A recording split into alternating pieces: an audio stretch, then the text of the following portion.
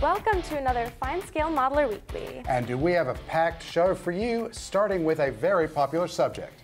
That's right, it's Takom's 135th scale Hetzer, properly known as the Jagdpanzer 38T.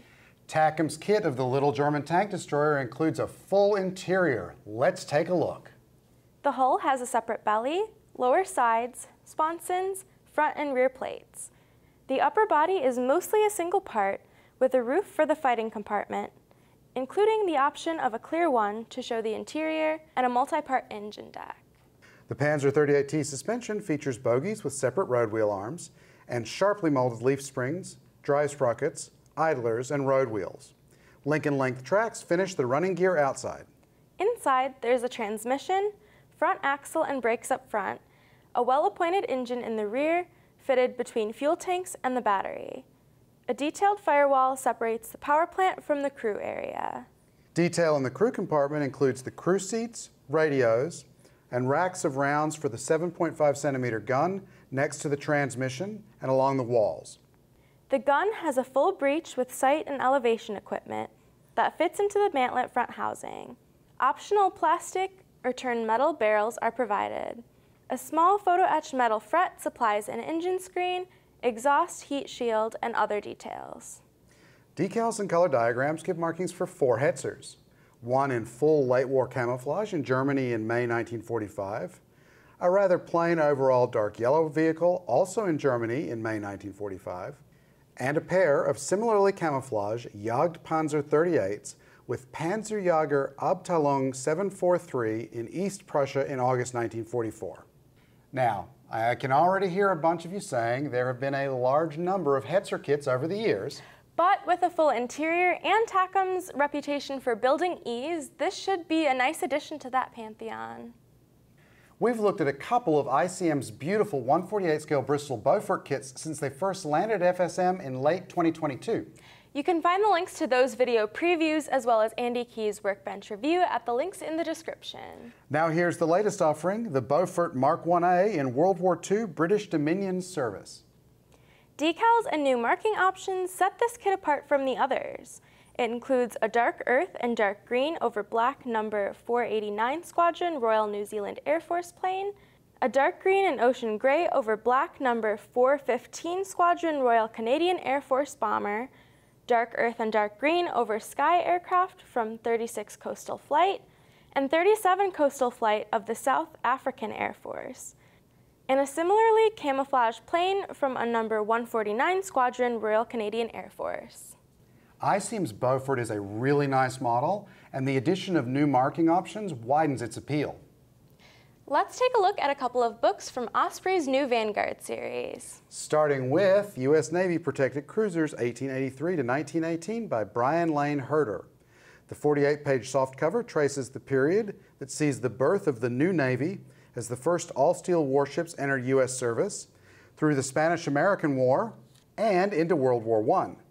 The second book is William E. Hiestand's Allied Tanks at El Alamein 1942. Using period photos and color profiles, the 48-page softcover looks at the development of the British 8th Army into a potent armored force. If you like ships or tanks, these books may find a way onto your shelf. Our final kit this week is something different from Trumpeter. A 172nd scale, 4,500 meter manned submersible Shenhai Yongshi. That's Chinese for deep sea warrior. The research submersible entered service in 2017. Not only is the subject unique, but Trumpeter makes it easy to build with pre-finished snap-together parts. The hull is in halves and receives a red fin and finely molded metallic propulsion units, light guards, lights, grapples, and more. The markings are provided as both waterslide decals and stickers. So this is a straightforward model that should be easy to build and could be fun to like light and put in a diorama. Yeah, look for reviews of the Hetzer and Submersible at finescale.com. A great place to find all kinds of modeling information like how-to stories and videos and tons of galleries from shows. The Kalmbach Hobby Store carries a range of tools and references, including these Schiffer Legends of Warfare titles. Fine Scale Modeler Weekly is brought to you by HobbyZone USA, your source for hobby storage solutions, hard to find hobby tools, and aftermarket modeling needs. Andy Keys is a reviewer for Fine Scale Modeler magazine. And recently, he's been talking a lot about microscale micro liquid tape. Now, if you haven't heard about microscale Micro Liquitape, it is a an adhesive that looks a lot like white glue, but what it's supposed to allow you to do is after you apply it, it dries down and then you can tack a part on your model into place as the bottle says, temporarily. Andy has been using it to tack canopies and other windows and parts that he would like to take off to maybe show off the interior of a model and then he can put those parts back on and the adhesive holds that part in place. We around here haven't used it, at least I know I haven't and Aaron said that he hasn't. So we thought what we would do is go ahead and give this product a try. Now I have right here a van body. I've got a windshield. Not that that's what you're going to use it for, but it's what I had on hand and it should be able to hold it in place, right? So just so that you know that I, there's no sleight of hand here, you know, push that windshield up in place and oh, it's in there right now, but if I do this, uh, it comes out. So we'll make sure to use the old glue on there and do the same test later on. It is supposed to be water soluble, so we'll try cleaning that up at the end. But I don't know what it's going to do to a brush, so I'm going to use a dotting tool to apply it to the windshield. Let's get to it. Well, it does look like white glue in there.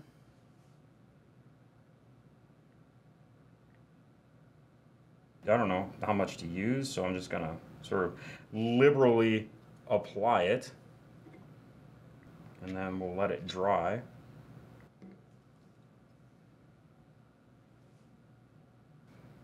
So you can see it all the way around there. Go ahead and let that dry. So while it's drying, I'll clean off this tool. It says water soluble. you know what would be useful? Paper towel. Paper towel. Hang on a second. Let me go get a paper towel. Cut. Roll it. You are. Nope. paper towel. All right, so I didn't let this stuff dry really.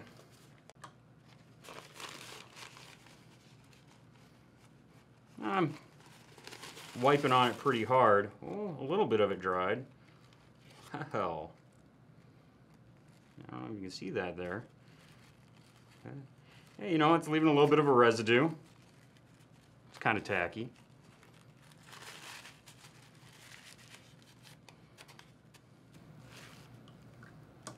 We'll see if this comes off with water when it's dry. I'm going to be interested to see if that's if that actually works on the part. I got most of it off, so the dotting tool is clean. So that's something. All right, now we just gotta wait for the part to completely dry before we put it in the body. After about 15 or 20 minutes, the Micro Liquitape has dried and you can tell it's dry because it is clear. So let's go ahead and stick it on in there. Now I am not touching the edges because it's tacky and I don't want, you know, to mess up the, the tackiness